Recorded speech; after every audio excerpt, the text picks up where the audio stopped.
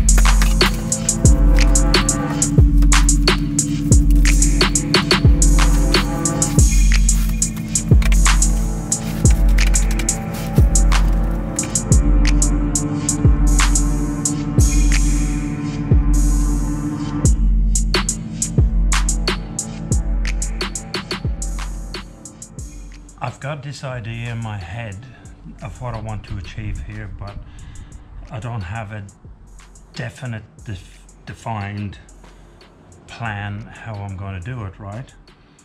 So, what I had in mind initially was using the bricks from the front garden that we saved from the retaining wall.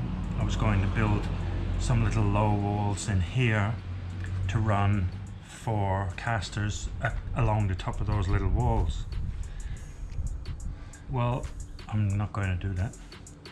I am going to bring in my sticks here now to see where they fit and what I might just do is build a couple of pillars instead of full length walls. It'll save me some time, save me some effort uh, and it'd be a bit of an overkill I think if I did full length walls. So a couple of pillars.